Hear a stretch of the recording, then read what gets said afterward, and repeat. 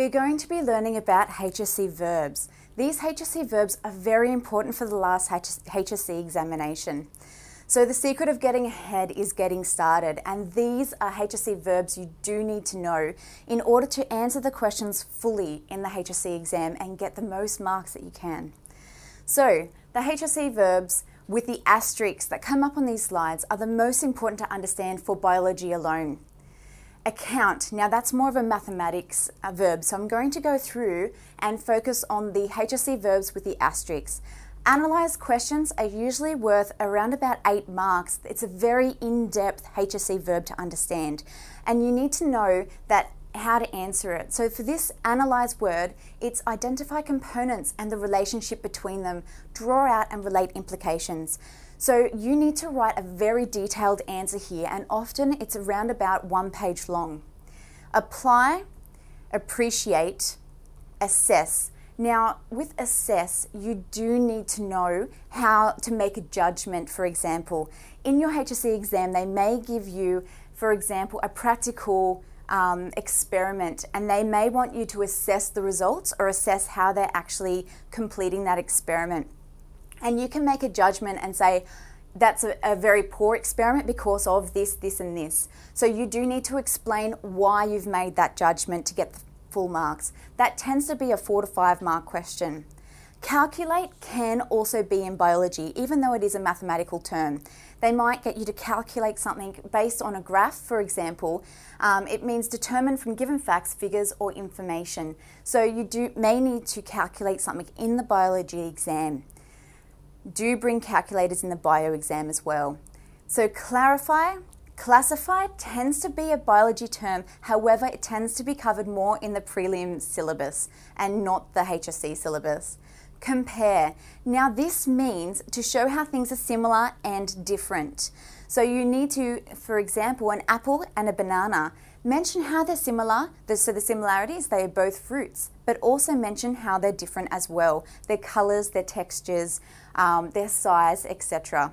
Compare tends to be a four mark question, so you tend to need to make two similarities and two differences to get the full marks. Construct contrast, critically analyze and evaluate. This one's another biology term, and for this one, you do need to um, write in depth the good and the bad um, in detail about what you're actually critically um, analysing or evaluating. Evaluate means to make a judgment. So when you make a judgment, you need to back up your judgment and you may need to use examples to get the full marks. Deduce, define. Define is only a one mark question and it might be define homeostasis. And when you learn that term in biology, you'll understand how to answer that question. So you need to state the meaning and identify essential qualities. Demonstrate. This tends to be a three mark question and you need to show by example. So it is really important to get your examples up and running for the HSC.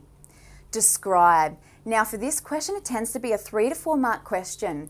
You need to provide characteristics and features, and it also includes giving examples as well. So if I was going to describe an apple, for example, I would describe that it comes in different colors. It's red or it's green. I would describe that it's sweet in flavor, and I would describe its texture or even its size. So there, that's a good way how to describe something.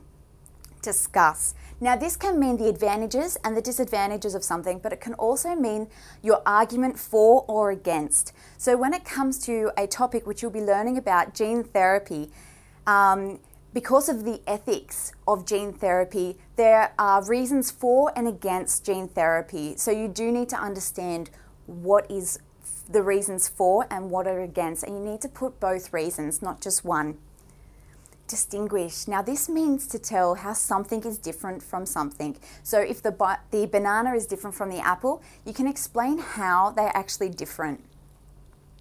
Evaluate. This is another around about six to eight mark question. You do need to have your own judgment for this one. So you need to explain your judgment, give examples, and make sure your answer is in detail. It ends up being around about a page in value. Examine, Explain. This is a very common biology question and it's around three to four marks for each explain question. It talks about what, why, and how. So you need to explain what it is before you're actually explaining how it works. Extract. Now, this one you may need to extract information from um, results, for example, or even from graphs. And it is very important to know what, um, how to extrapolate information from graphs. Oh, extrapolate, that's the next one. So to understand how the graphs actually, the trends of graphs, you need to extrapolate the information from the graphs. So identify is a one mark question. It's again a very simple answer. Draw, inquire into, and draw conclusions about. Justify tends to be four to five marks, and you need to explain your reasons of why you've decided you're supporting an argument or conclusion. Outline tends to be dot points. So sketch in general terms indicate the main features of something. Predict. This might mean predict the future, predict what's going to happen in this experiment and why do you think that's going to happen. Propose. That's also proposing an idea. So put forward um, an idea for consideration or action. Recall might be meaning to recall a past experiment. Recommend, provide reasons in favour. Recount, summarise, synthesise, and that's about it for HSC biology. So look at how many marks the question is worth before you actually just start writing. Understand the HSC verb so that you can answer the question completely. For example, discuss, provide the advantages and disadvantages or reasons for and against. Now give examples to support your answer as well. Examples will always give you more marks in your HSC. Thank you, and that concludes HSC verbs for today.